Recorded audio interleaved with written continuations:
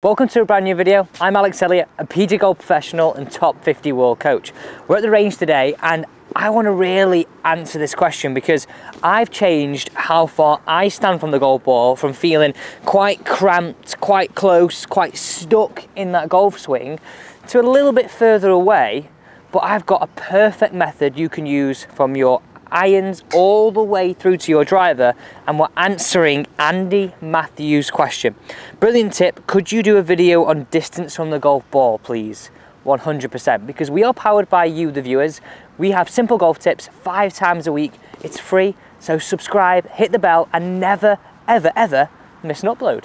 So I saw Andy's comment and I thought, I can relate to this in my golf game. I went through this period, by the way, I know this will really help you, of sort of hitting the heel and then sort of feeling a bit cramped in the golf swing and then overcompensating and hitting all the way out on the toe. So it was like, I didn't know it at the time. And this is the hardest thing with distance and why you need to measure it the way I'm going to show you is when we've hit enough golf balls and we play golf for a while, what feels normal to us could be actually like this.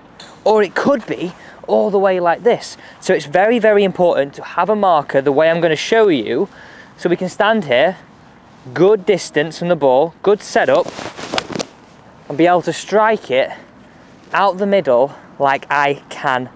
Not saying every time, but about 80 to 90% of the time right now. Okay, let's start with 7 iron. The technique remains the same, whatever iron you've got, there is a slightly different one for your driver, but we'll start with your 7 iron. First things first, forget the golf ball, that's just down on the ground. Have that out though, have it out just here. So I'm gonna just make my stance where my club falls about a foot inside that ball to start with. Hands on, feet around shoulder width apart, and look at that there. I'm then gonna just flare my toes slightly. Now we're gonna stay this angle because I think it's important to see the distance. Lower that club until it runs parallel to the ground. And all I want you to do, keeping your legs straight, tilt over from your hips, then slightly bend the knees.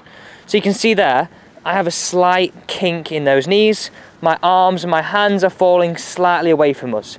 My armpits are over my toes and my bum is behind my heels. Those points are really, really important, so make sure we get those.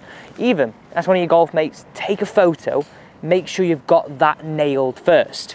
Okay, next phase. Keeping everything equidistant, we're just gonna shuffle into the golf ball where we're matching what we just did. This is the genius bit. This is the bit which is great. Now look at this. How I'm placing my golf club down is where I'm sort of cupping round the golf ball with the head. What I would do here now is I would measure where my feet have just fallen. So I can see here, my feet are just inside this KBS sticker. So every time, instead of having to go through that full process, I can get to the range, and this is why it's brilliant. I know I've got perfect setup. I can go hook round, feet just short of the KBS sticker, good ball position, perfect.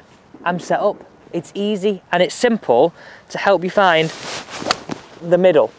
Okay, when you go with a longer iron or a shorter iron, you can just follow the same process because as we know, right, our irons get longer as we go up towards five iron and get shorter as we come down towards our wedges. So the shaft gets shorter corresponding that. So easy, just follow the same process with either a longer or shorter irons. This is really important. You could be hitting your bad shots just from poor strikes on the face. Now this might be new and this is great. So if you hit the toe, the face will sort of twist back like this and cause more right to left curvature for a right-handed player. Now most of us, like me, hit this heel. Heel kicks in, and that could be one of the big reasons why you have that weak, short, horrible left to right curve we do not want to see. So follow this process, make sure you got the correct distance. Now, as I said, this is different, so watch every part of this. There's a slight tweak in what I do from the irons.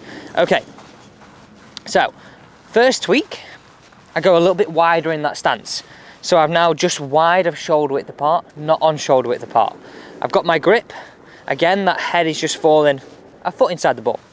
Leg straight, club parallel to the ground.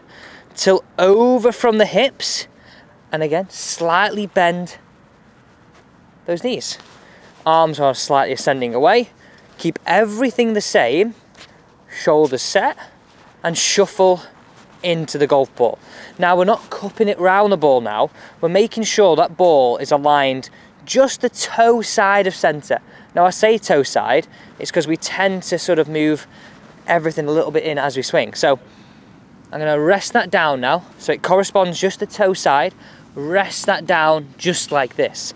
I'm now going to make my mark that way on my driver. So my mark on my driver is around about just short of the end of my grip. So I know I can do a little checkpoint. I can do this every single time at the range, but also you could do this on the golf course when nobody's watching, not on the actual shot, but to the side. Check your distance, find that middle. Easy. Look at that.